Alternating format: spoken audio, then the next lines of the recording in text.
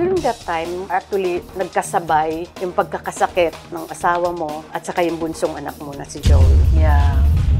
Kumbaga masasabi mo, Aster, yung tatlong lalaki sa buhay ko, sabay-sabay nagkasakit. Oh my Because at that God. time, he already, Oo. on the last leg of his 10th year, nagka-cancer siya. Hindi ako nakagraduate ng cum laude. I was candidate for cum laude. Right. Kaya hindi ako nagmarcha. Natin alam yung istorya ng iba. Hindi tayo pwedeng maghusga eh.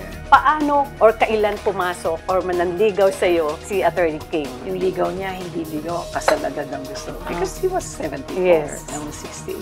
Siya una-unang nag-specify, kailangan ang unang show na lalabasan mo, ABS. Maalaala mo kaya. Alam niyo, yung Moreno ko, hindi yun ang talagang apelido ko. Ginaya ko lang si Oscar Moreno kasi I gusto ko isipin ng madla na magkamag-anak kami. Ah, okay. I didn't even know that. There's no big or small role on stage and in life. Ang importante is how you portray.